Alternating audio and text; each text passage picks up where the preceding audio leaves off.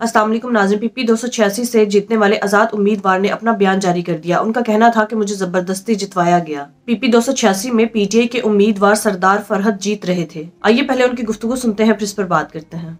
बिस्मिल्लाहिर्रहमानिर्रहीम।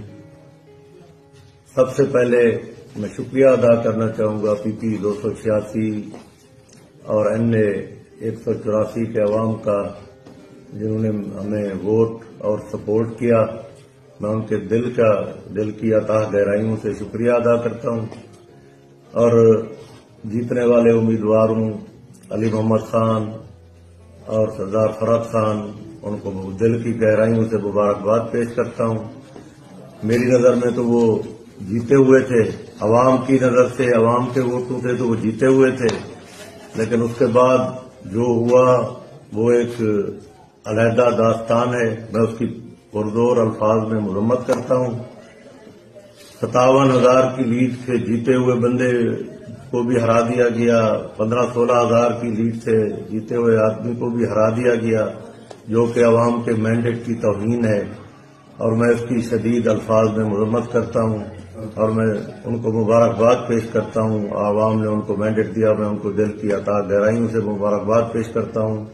अवाम ने इमरान खान को वोट दिया। जो हुआ? वो आप सब भाई बहनों के सामने है। हमने तो दिल से कबूल किया। भाई इमरान खान को लोगों ने वोट दिया और उनको मुबारकबाद पेश की।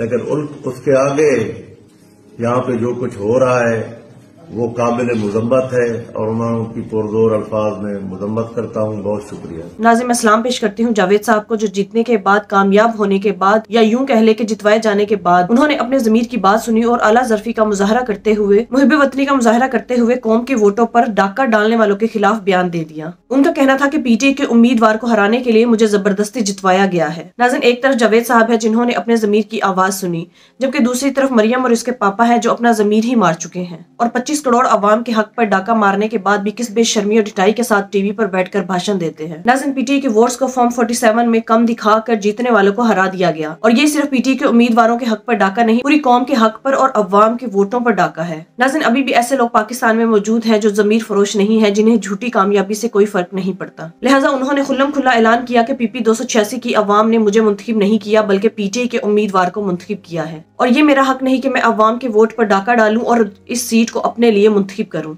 नाजिन ऐसे लोग पाकिस्तान में बहुत कम मिलते हैं और ऐसे लोगों की पाकिस्तान को अशद ज़रूरत है। ऐसे लोग पाकिस्तान की खुशकिस्मती है जो अदलो इंसाफ और हक की बात करते हैं और ना ही वो किसी का हक मारना चाहते हैं। उन्हें नाम हाथ खुशी या कामयाबी से कोई फ़र्क नहीं पड़ता और ना ही वो ऐसी कामयाबी को एक्सेप्ट करते हैं। नाजिन आपके इस बारे में क्या राय है? कॉमेंट में ज़रूर बताइएगा। अगली वीडियो में मिलते हैं, तब तक के लिए अल्लाह